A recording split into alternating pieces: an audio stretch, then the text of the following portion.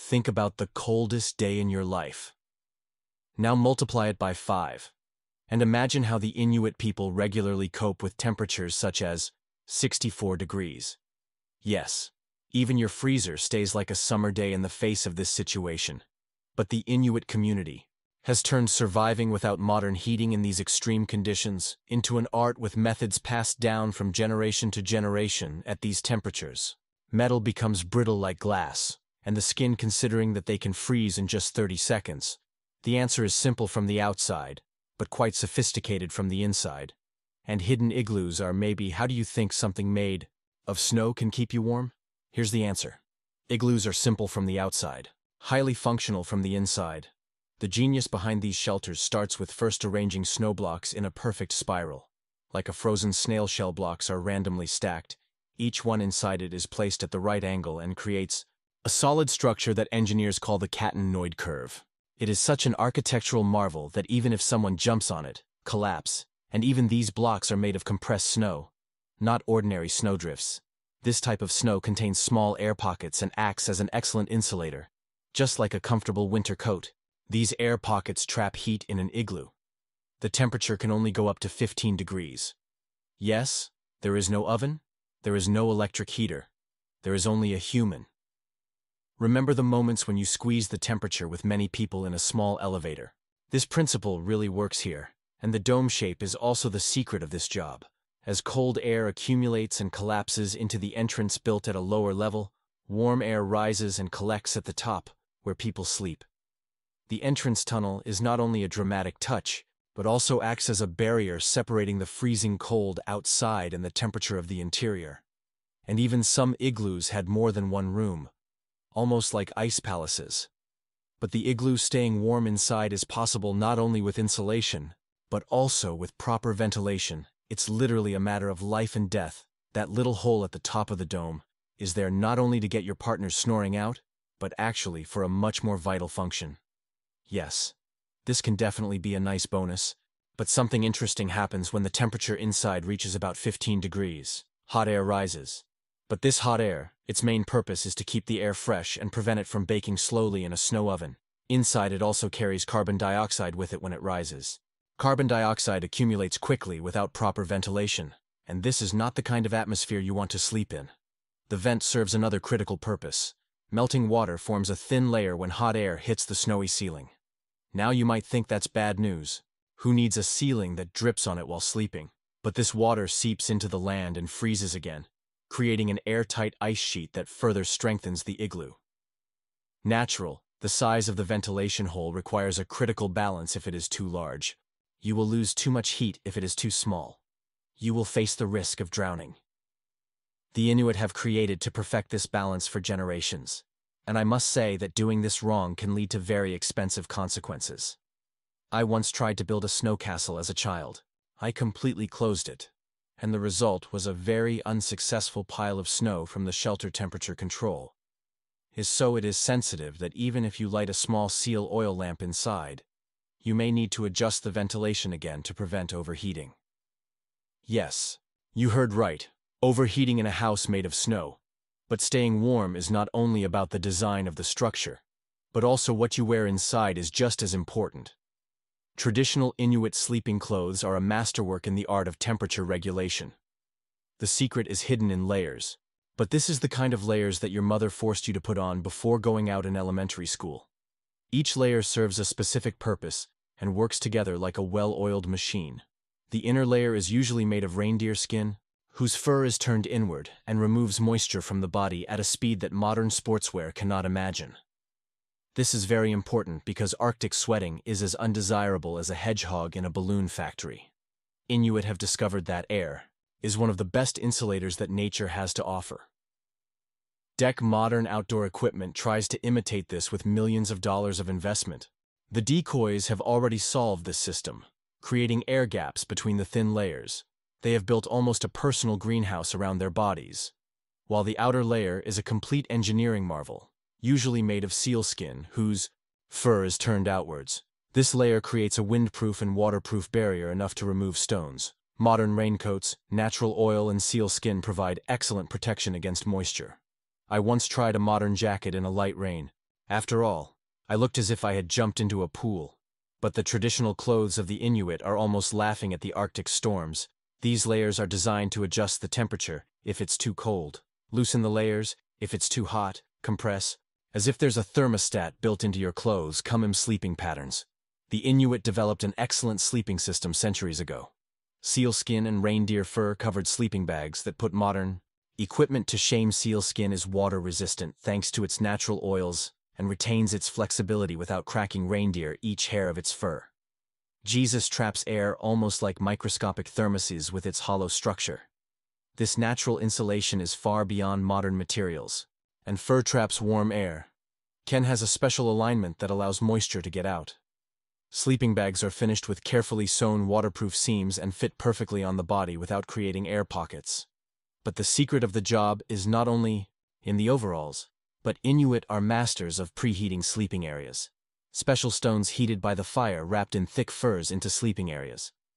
These stones are placed work like a natural hot water bag, releasing heat slowly during the night. Some stones can maintain heat up to 40 degrees for several hours. This technique is literally an art of life against the Arctic freezing cold. The placement of these stones is a complete art of strategy. They are usually placed under the feet in places or core body areas that will warm cold toes as they cool down, rotating as they cool down, creating a constant source of warmth campfire smoke. This system is a heating method that works with a zero-carbon footprint, but the ingenious way these stones are combined with snowblocks releases their heat, while a small amount of meltwater turns into an ice sheet, allowing better confinement of temperature stones almost offer a warm embrace from inside the igloo. Some communities have developed stone rotation systems to keep warm stones constantly. This is the Arctic version of sharing basic needs, and is quite critical for survival. But the stones in the iglooite is not the only source of warmth. The human body also produces as much heat as a light bulb every minute. The Inuit know very well the importance of sharing body temperature. Families sleep tightly together in traditional sleeping arrangements, creating a natural human heater effect, two people two floors. Three people provide three times the temperature, which is quite relaxing in the cold, of 40 D on sleeping platforms have also been upgraded according to the principle of warm air rise. From the outside, sleeping on a snow block may seem uncomfortable, but in fact, it is allows you to sleep at the hottest point of the igloo. Sleeping next to a family of four people can increase the ambient temperature by up to 10 degrees, which creates a natural electric blanket effect the Inuit have also developed special sleeping positions to maximize heat and minimize contact with cold surfaces. These positions, which have a layout like human Tetris, ensure that you stay warm, as well as the art of breathing. Also plays a critical role by heating the incoming air through your nose before reaching the lungs. It works like a heater in frozen air or nose can heat the air. You breathe up to 20 degrees in seconds breathing in Arctic. Air without this natural system is similar to swallowing an ice cube. Inuit discovered the technique. Modern science calls respiratory heat exchange in lab coats centuries ago by taking slow and deep breaths to minimize the amount of cold air entering. Their lungs' fast and shallow breaths can work on morning runs. Some Inuit make breathing strategically with fur clothes by bringing them. They create a pocket of warm and humid air that allows the next breath to be preheated. The moisture coming in their breath freezes on the fur and adds another layer of insulation, making it similar to making ice walls from ice, almost turning the difficulties given by nature to an advantage. The most impressive is that they time their breathing according to their activities. They take faster and shallower breaths when active and when resting or sleeping. They switch to deep and slow breaths. It's almost as if there was a gear lever in their respiratory system October, all these breathing techniques require energy and warmth, and the Innu diet is designed to meet this need. Their calorie-rich diet contains energy-filled foods such as whale oil. Whale oil provides more than 9 calories of energy per gram. Doubles, the energy content of protein bars, a single serving of traditional Inuit food can cover the calories needed for a day. The high fat content in their diet may be shocking to an ordinary dietitian. But these fats are Saharan it is as vital as Sunscreen in the desert. It is not only the amount that is wise, but also the timing of eating. Especially foods that take a long time to digest are stored for the night. This creates an effect as if you have a slow-release heater in your stomach.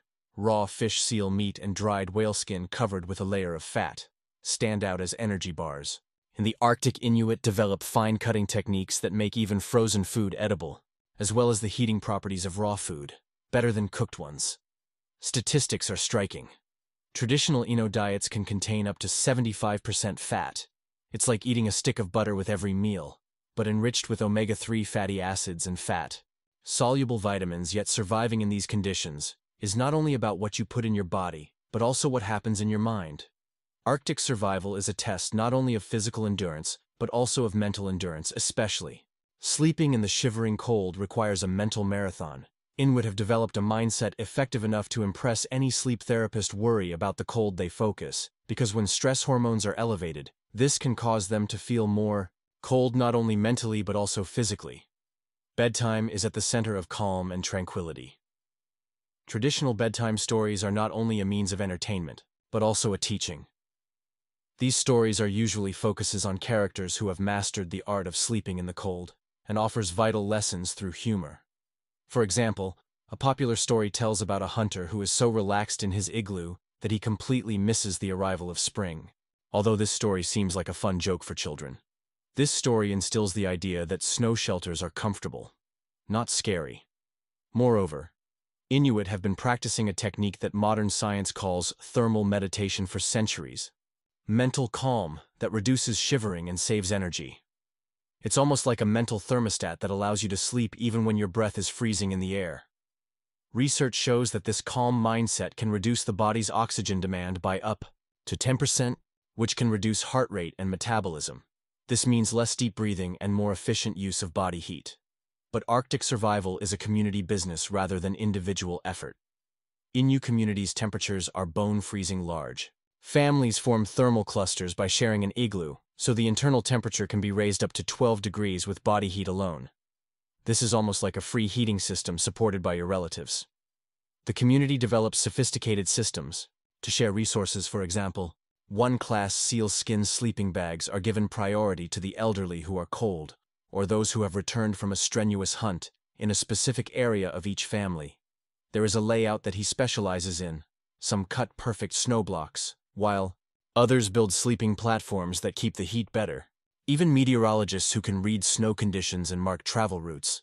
This organization is so sophisticated that even strategically placed survival stations for blinding snowstorms are built in advance. These are not simple rest stops, but Arctic hotels equipped with survival equipment humor is even a part of this system. For example, the story of a man exiled to sleep who snores noisily is often told but his family accepts it back when they realize that his ability to share his body temperature is more valuable than noise. The most powerful tool of Arctic survival is not clothes or technique, but the unity of the community that does not allow anyone to fight the cold alone.